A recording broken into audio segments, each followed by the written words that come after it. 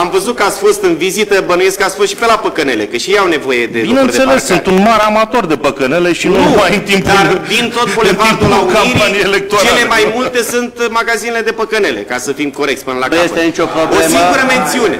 O secundă. Cred că în O cursul secundă. Puteți să mințiți în halul ăsta, cum să fie cel Nu, mai multe nu le duceți Vă rog grija că frumos. domnul Ciolacu le închide și le, uh, le, Hai să de- revenim la le duce discuții. la marginea Deci, vă rog orașului. Deci Hai nu să mai este revenim la problema discuții păcănelilor. serioase. Vreau să vă dau următorul exemplu.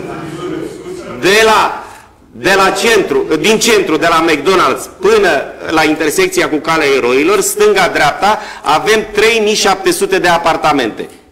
Calcule făcute matematic. Pentru aceste 3700 de apartamente, primăria municipiului Buzău a amenajat în ultimii uh, 5-6 ani 2552 de locuri de parcare ce sunt atribuite ca și parcări de reședință. Deci există 2552. Știți că pe Bulevardul Unirii există singura farmacie non-stop din municipiul Buzău? Este singura farmacie non-stop la ora actuală din municipiul Este Buzău. pe alea crizantemelor. Mai avem una. Farmacia Iris.